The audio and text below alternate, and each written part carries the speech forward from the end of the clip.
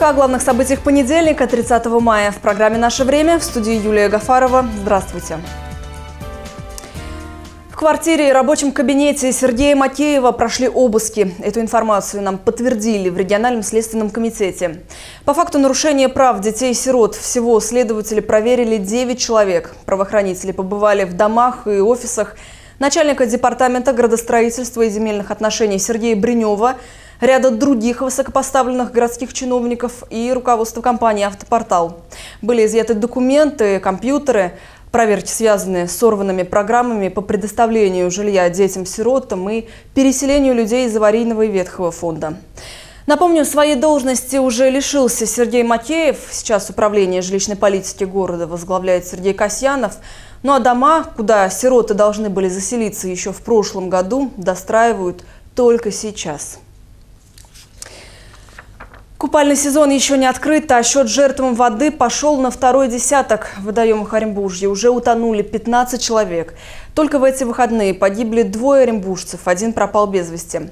Так буквально вчера днем в районе Неженки пошел купаться в реке, но так и не выбрался на берег 34-летний мужчина. 29 мая днем в парке отель «Неженка», недалеко от села Неженка, на берегу реки Урал, вошел в воду 34-летний житель города Оренбурга, менеджер автосервиса, и не вернулся. Предположительно утонул. В настоящее время ведутся поисковые мероприятия.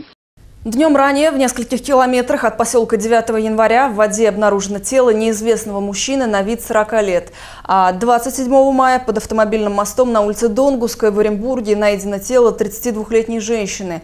Она утонула во время купания. Установлено, что погибшая перед тем, как войти в реку, выпивала спиртное вместе с молодым человеком.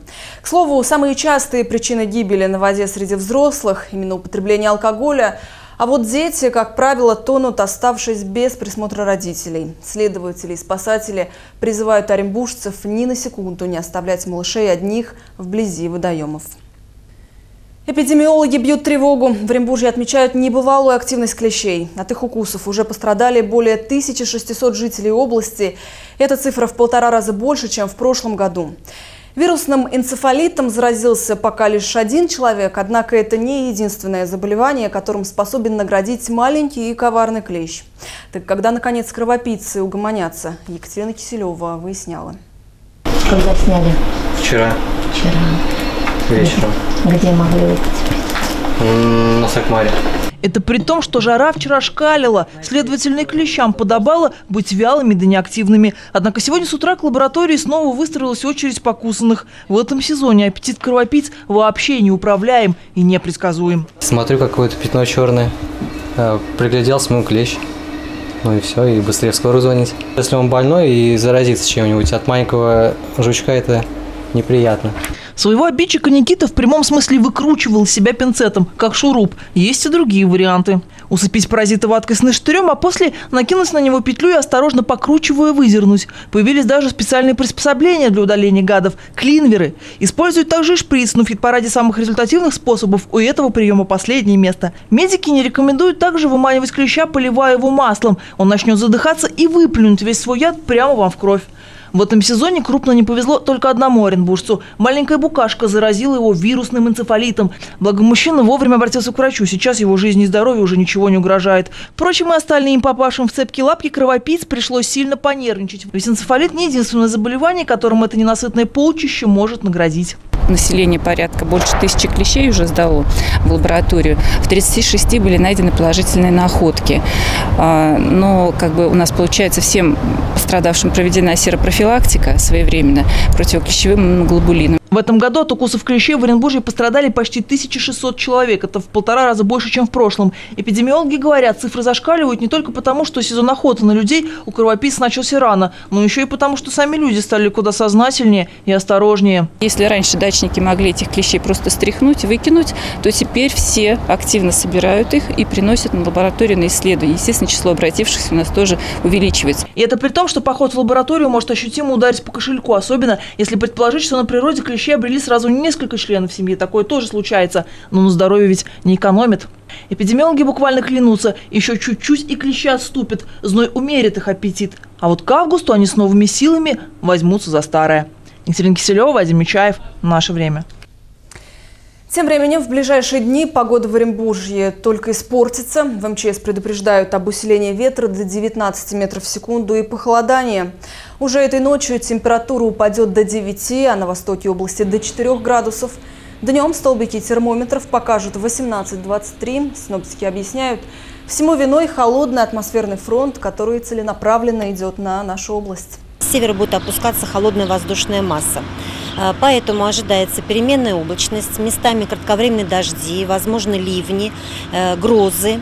При грозах э, есть вероятность усиления шквалистого ветра, возможен град. К середине недели нашу территорию займет южный циклон, но погоду это совершенно не улучшит. Будет все так же прохладно и дождливо. По мнению синоптиков, только ближе к выходным немного распогодится, и столбики термометров покажут плюс 25. Именем Александра Прохоренко назовут улицу вблизи стадиона Оренбург. В Доме Советов сегодня определялись с тем, как увековечить память Герою России. Это решала специальная комиссия во главе с губернатором. Кроме переименования улицы, в плане на этот год проведения патриотических конкурсов, создание музеев, размещение памятных табличек и капитальный ремонт школы в селе Городки, где погибший офицер когда-то учился.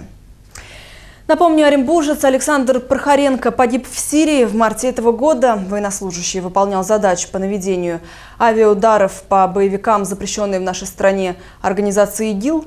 Как область решила увековечить его память, сегодня узнала Ольга Патрушева. Более пяти патриотических мероприятий, две памятные доски и стенд в музее. Это лишь небольшая часть из запланированного. В ближайшее время именем Александра Прохоренко назовут, а вернее переименуют, региональное отделение Всероссийского движения «Юная армия». Кроме того, школу, где герой России когда-то учился, капитально отремонтируют. И уже обновленное учреждение будет носить его имя. И это мероприятие непрерывно связано со следующим мероприятием. Установкой мемориальной доски памяти Прохоренко на здании а, Городецкой средней общеобразовательной школы. А, это планируется завершить к 25 августа 2016 году. Ну и самый главный вопрос. Какую улицу в Оренбурге назовут в честь Александра Прохоренко? На этот счет у чиновников было несколько вариантов.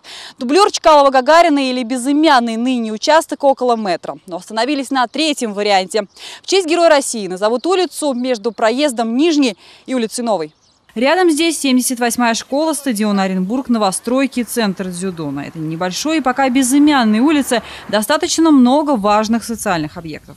Но главное, что там есть хорошая парковая территория прилегает и участок э, порядка одного гектара, где можно сделать красивый сквер, как раз имени Александра Прохоренко, бюст поставить, и дети могут приходить. И, например, провели соревнования на стадионе Оренбург или Э, в центре дзюдо.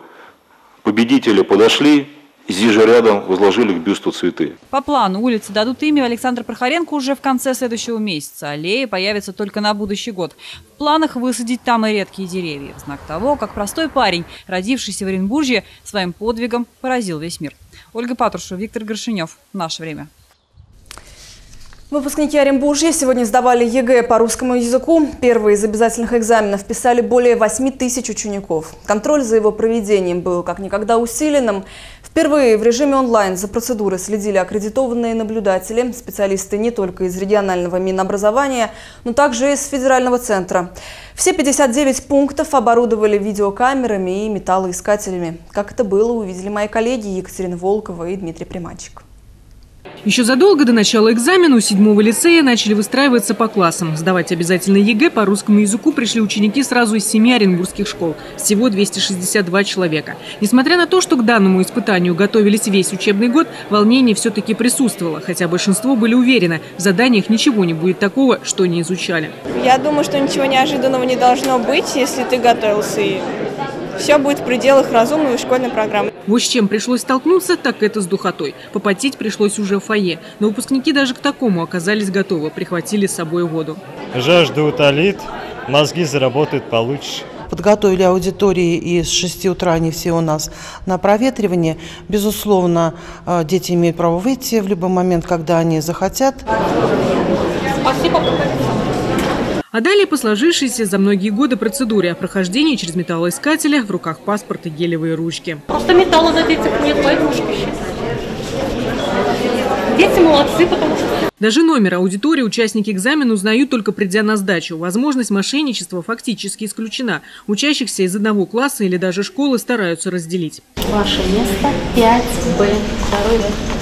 Я думаю, ребята надеются только на себя и видят, что всякие попытки и все вопросы, касаемые списывания каких-то моментов таких, они пресекаются. Перед тем, как вручить каждому КИМы контрольно-измерительные материалы, организаторы вновь напоминают о том, чем пользоваться нельзя. Запрещается иметь при себе средства связи, электронно-вычислительную технику. Чтобы экзамен был честным, за учениками в режиме онлайн следят из регионального министерства. Это лицей 7 аудитория номер 11. Кстати, в этом году впервые в режиме онлайн транслируются все пункты приема экзаменов, притом следя за честностью учащихся не только из области. Общественные наблюдатели аккредитованы Рособорнадзором и э, могут быть представителями любой территории России. Поэтому мы не знаем, кто кроме нас еще наблюдает за нашими детьми.